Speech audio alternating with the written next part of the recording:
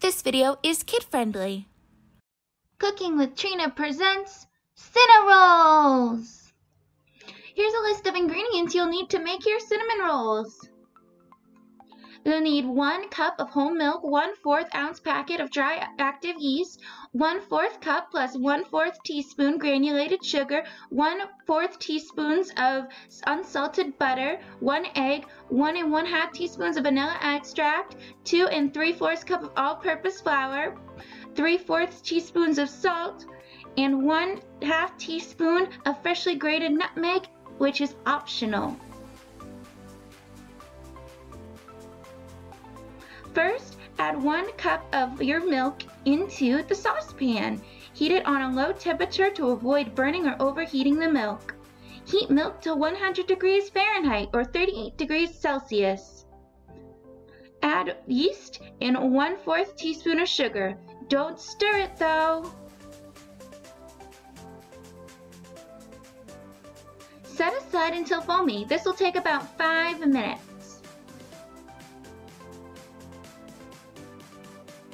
Once foamy, whisk in the egg and vanilla.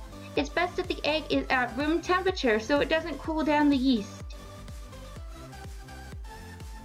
Now whisk all your ingredients together until they're combined. This is going to be your liquid mixture.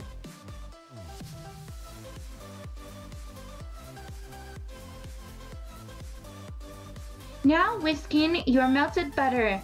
Again, make sure that it becomes fully combined.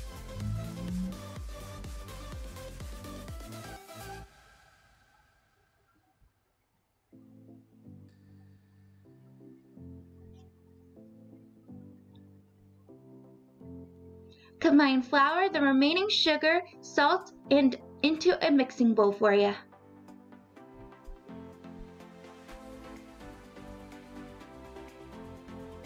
Now you're going to add your liquid mixture.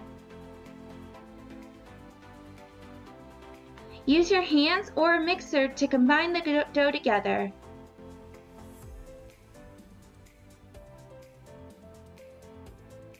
The dough is combined, you're going to form it into a nice ball. You're going to need to coat your clean bowl with cooking spray, vegetable oil, or butter. This will prevent the dough from sticking to the bowl while it rises. Cover the dough with plastic wrap and leave it on the counter for an hour. Don't leave any holes in the plastic wrap or the dough will get crunchy layer on top and we don't want that. During the one hour, the dough will rise and expand and fall into a ball of fluffy happiness. I almost forgot, preheat your oven to 350 degrees. After one hour, place your dough down onto the counter coated with flour.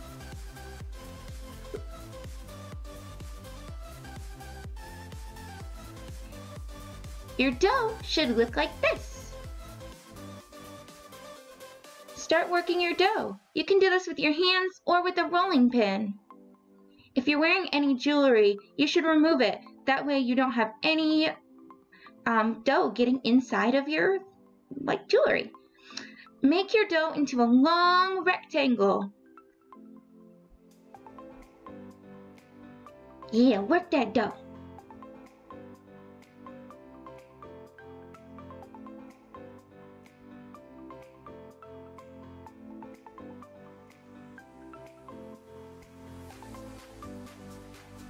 Take some butter and rub it onto the surface of the dough. This will help the ingredients stick to the dough. To make your filling, combine brown sugar, nutmeg, cinnamon, all into a bowl. Make sure that it's the flavor that you want. You can just combine as much of the ingredients as you want. After adding the mixture onto the surface, you're going to want to roll your dough up into a log.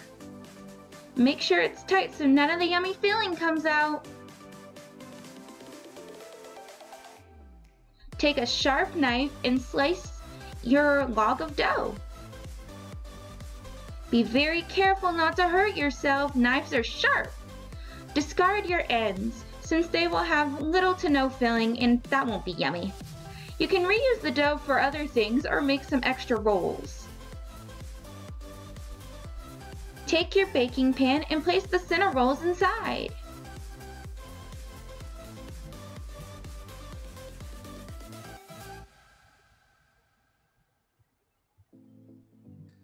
Oh, they look so yummy already.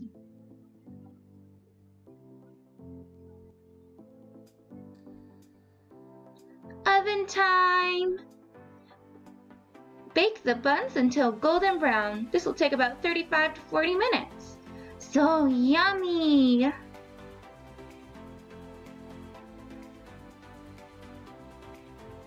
Time to top them with some yummy icing. Mmm. To make icing, just combine powdered sugar and vanilla with milk or melted butter.